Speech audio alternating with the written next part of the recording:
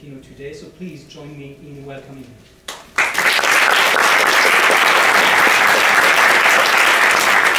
Merci Florian. Uh, désolé, tout le monde, je ne parle pas français, donc uh, je vais parler anglais. I'm sorry, I can do no other.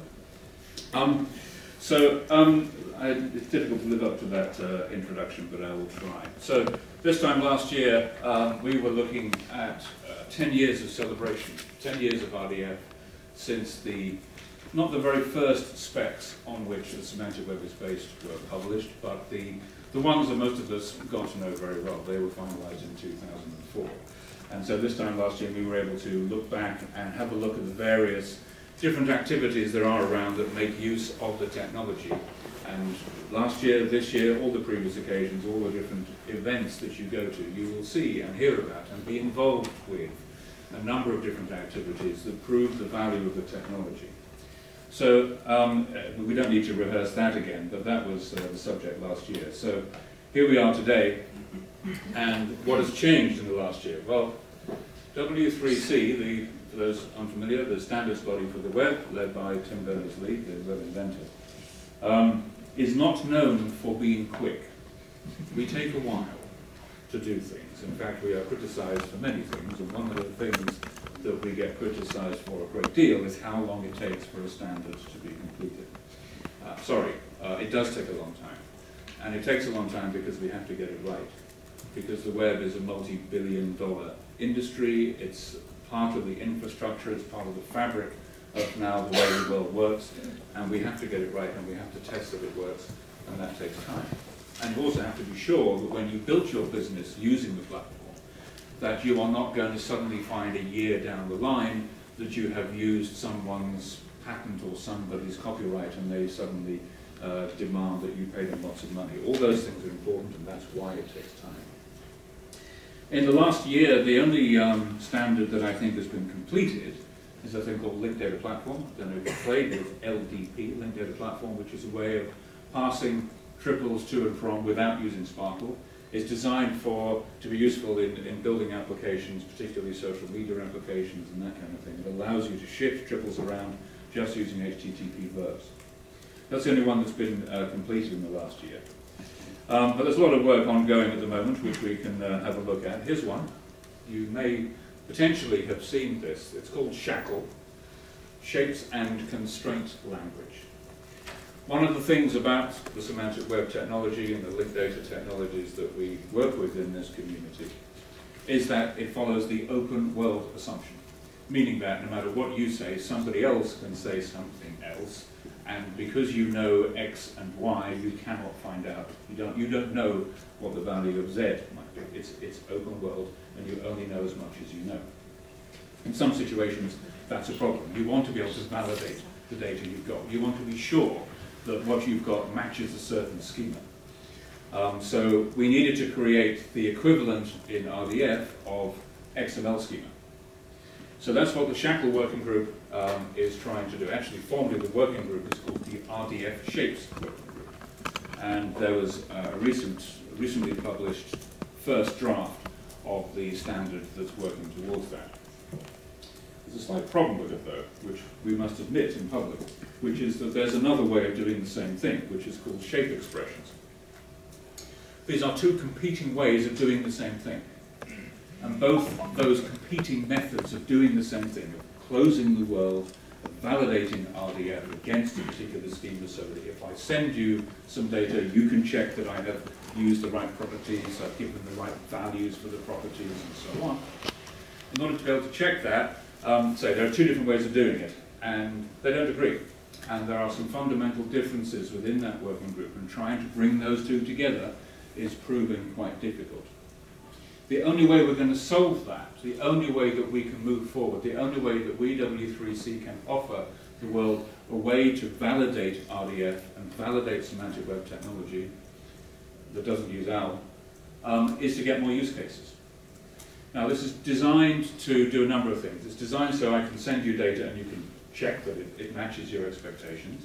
It's also designed to help you build SPARQL query editors.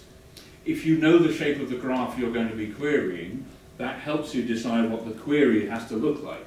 So that's one of the use cases for that as well. Another use case is developing your user interface so that when somebody is creating some RDF data, you can again provide a user interface that makes it easy and provides drop-down boxes of allowed values and so on. All those are the use cases for this one working group, the RDF Data Shapes Working Group, and they have this, this impasse, to use the English word. Um, how do you put these two things together? Uh, and what we need, please, is feedback, and we need use cases, and we need test data. Otherwise, that group uh, may not get much further. Just uh, yesterday, uh, one of the working groups that started at the end of 2013 has just completed its work. Um, it's called CSV on the web. Most data out there is either geospatial or it's tabular. Um, so a lot of that data that's shared is, is in some sort of CSV file or a, um, um, a, a relational database dump. How do you describe that in such a way that you can convert it to other things? How do you understand the column headings, the data types, the annotations, and so on? So CSV on the web, we've, we've done that now. We have implementations for it. Um, we could do more implementations. I mean, CSV, it's, it's, it's ready, but you know, what else do we need to do? If you work with tabular data, if you bring in data from lots of different places, you're probably going to get an export from an Excel spreadsheet. How do you handle that? CSV on the web has a set of standards to help you do that, to provide that metadata, to automatically translate it to JSON or RDF or anything else you may want to do with it groups I'm particularly involved with personally, there's one called Data on the Web Best Practices. That was floundering, it was struggling for a while. The problem with trying to come up with advice on how to share data on the web is, the, is that the topic is huge. There are so many things you could say. And it's really hard, it was very hard to work out exactly what it is that group is trying to do. We know in theory, in theory we want to make a better ecosystem for data sharing. We want to make it easier for people to pick up your data and know what to expect, we want fewer surprises. That's okay, but how do you actually codify that into a set of individual statements that you can follow? That work has been, a year ago, it was in trouble. Now it's on track and we have got a document that uh, should be republished again very soon that has some concrete evidence in it, some very good advice. So that's coming from our W3C data on the web best practices working group. Alongside that, I run a big project called Share PSI, uh, which is a network of 40 partners from around uh, the EU, um, and that is developing policy side, the, the, the, the, policy side of open data and data sharing. Um, we have a final workshop on that uh, in a couple of weeks in Berlin, looking at interoperability, controlled vocabularies, and geospatial.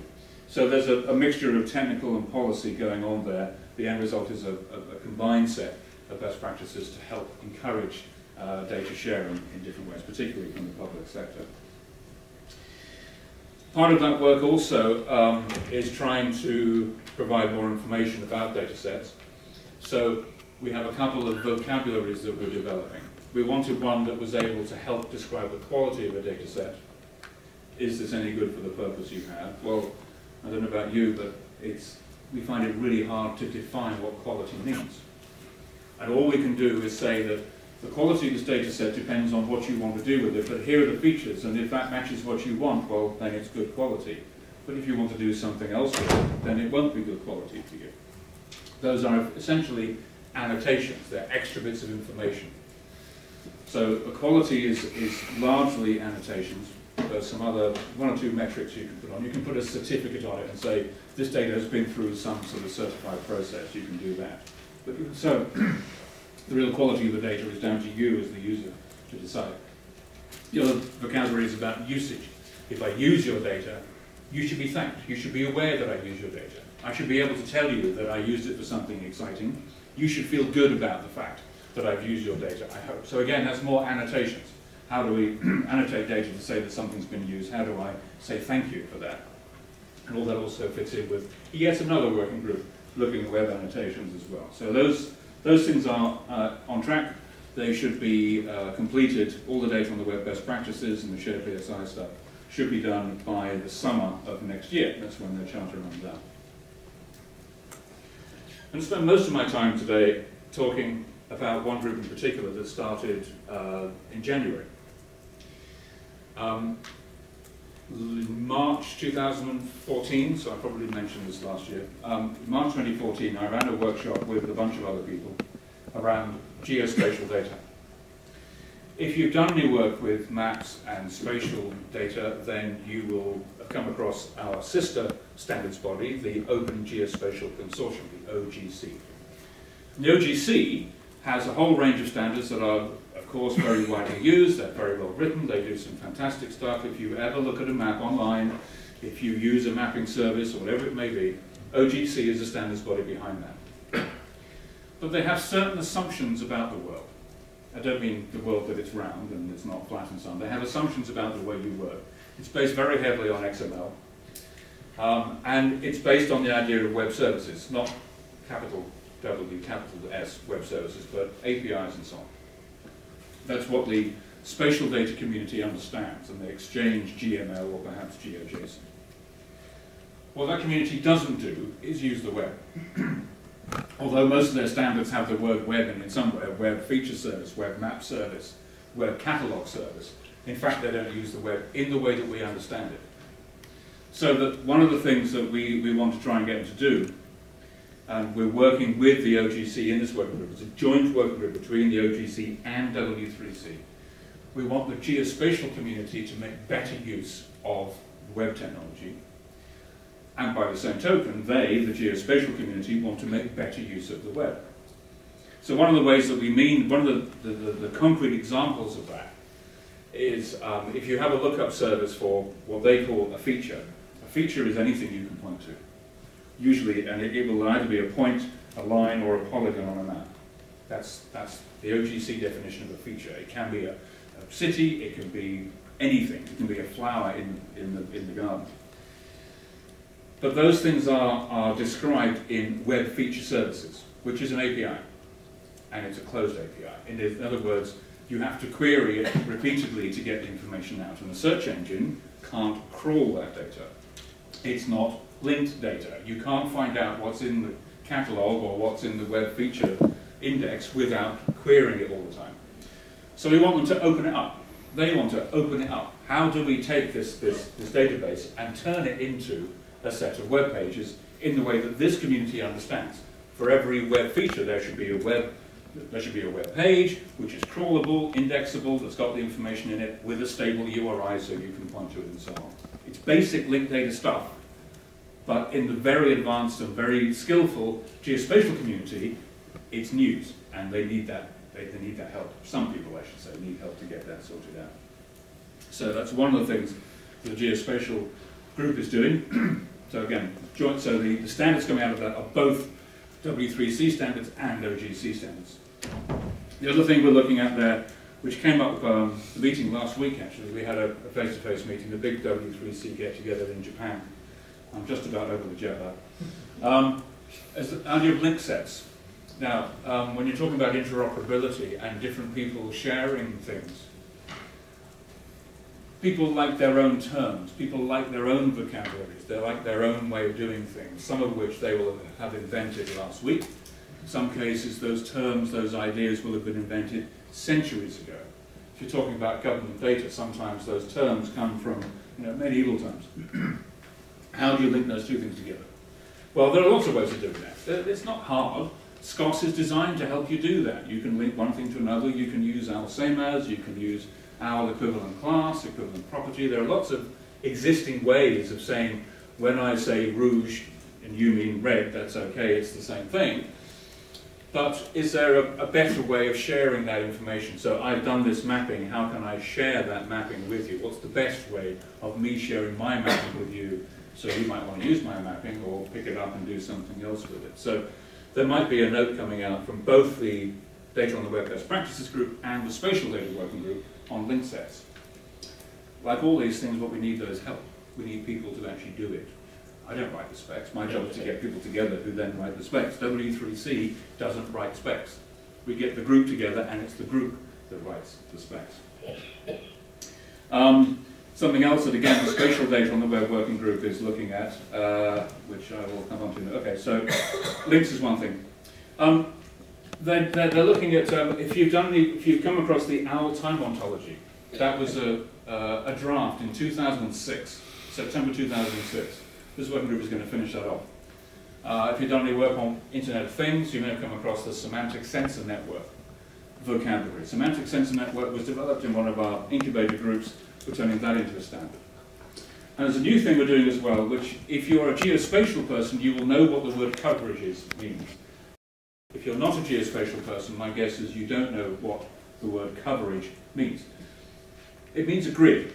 You have a gridded data, and for each of those cells, you have a particular value. So what's the value of this square, what's the value of that square, and so on. Now, in RDF, you probably describe that using the RDF data cube which is a vocabulary that allows you to do that, to put statistics on a map or, whatever it may be. Um, there are a few problems with that, um, but let's look at the, the good stuff first of all. If you have that kind of coverage, another word, another an application of the general idea of coverage is satellite imagery. So a satellite returns individual spectrum, um, what exactly is the color of the light coming back from each of those grid squares. So these are coverages, these are grid squares from a satellite image that tells you exactly what the crop is growing there. So you can find out where the maize is, where is the wheat, where is the hemp being grown, where are the opium crops in Afghanistan, where are the um, farmers who are claiming that they're growing maize when in fact they're growing something else, that kind of thing. Yeah. There are all sorts of applications for satellite data, and the satellite industry are obviously very keen to share their data and get people to use it. So coverages in linked data is, a, is an important use case that, again, this joint OGC W3C working group is, uh, is working on. It's a very exciting group. It's getting a lot of attention both within W3C and in OGC. If you have any interest in geospatial information at all, that might be an interesting uh, group to, to join. The problem with satellite data and coverage data in general is it's so damn big. And that's the problem with using the RDF data cube. RDF data cube is it's an RDF vocabulary and it's extremely good at telling you how to individually, how to express these, uh, a, grid of information using triples. The problem is the triples become extremely voluminous. There are you know, millions and billions of triples describing what you can show in a, a, picture quite easily. So an issue that comes out of the geospatial world that we need to tackle, and that group is tackling it, is how do you address a subset? I don't want the whole whale, I just want the fin. I just want this bit of data. So if you have temperature records, you have temperature records for the whole of France since the first temperature record. How do you actually, what I really want is temperature records for this particular arrondissement for the last 10 years. Or I want today's temperature. You only want a specific value. You only want a little bit of it. How do you do that subsetting? Um, again, people have lots of different solutions for that, but we want to try and give people a, a steer on, on, on, on, how to do that. We think one possible way of doing that is to um, pick up uh, OpenSearch. You may have come across OpenSearch. It's a little tiny standard, not one of ours, that um, if you look in your web browser, you have a choice of search engines. And you can decide whether you want to use Google or Bing or Yandex, whatever it may be. That works because the query that goes from your browser to the search engine is standardized. It's called open search. It's um, question mark uh, q equals, and then there's the then there's the text. That's a standardized thing. That, now, the important point about that is it doesn't depend on the technology at the end of the line. It's just a, a way of writing the URL, if you like, that, that uh, triggers the, the search. OGC, the Open Geospatial Consortium, defined an extension to that. So you could say, I want to search in there, but I only want to search within this bounding box or within this particular area, within this particular time, and get back results from that. We think that's the beginnings of a way of doing this. So I think when we talk about making a subset of a data set, it'll be a query, but it'll be a very simple syntax that you would then have to interpret in your actual query engine. And again, that would give you a nice stable URI that yes, it includes a query string, but it's a query string that is not tied to a technology. So even if you change your technology, the query still works and you still get your subset. Um, so that's the spatial data on the web working group, and there's a lot going on there, um, and I would urge you to monitor it, and even better, join the group uh, and get involved in that. My next working group, this is new, this, is, this hasn't started yet, but I think it will probably start next year. subject to member approval and process and lots of stuff. I have to, I have to go through lots of different hoops to get there, but we're making progress on um, uh, a language to define rights and licenses and permissions and so on. Now, that is politically sensitive, talking about rights and permissions.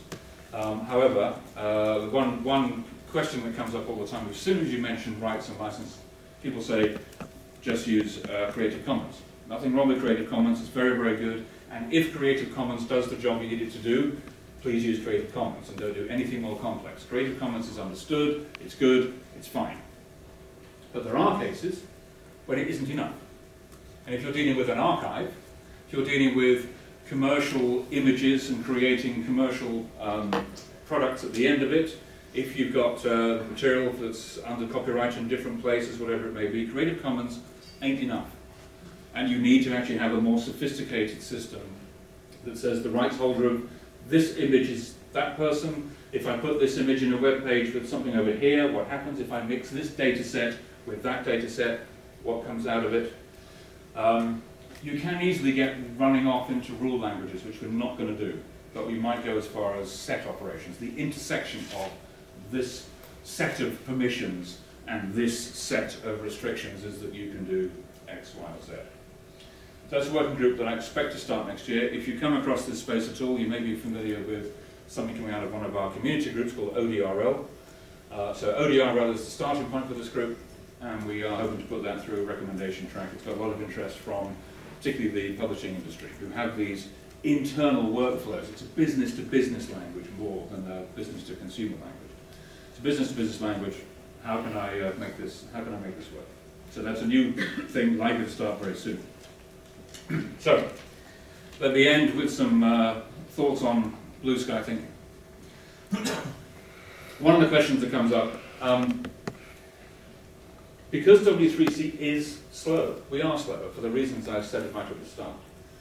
It's hard to get any new standard through the process, and we make no apology for it for the reasons I said. It has to be difficult because the, you have to be able to be to depend on those standards.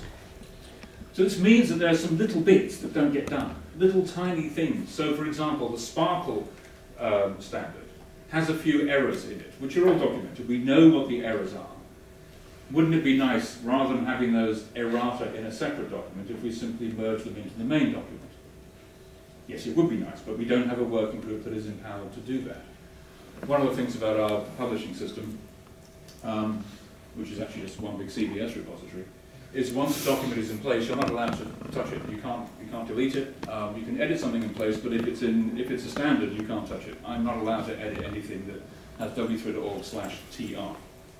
So that what that means is that when a standard is published, the errors have to be collected in a separate page, which makes it harder to read. So maybe we should look at those.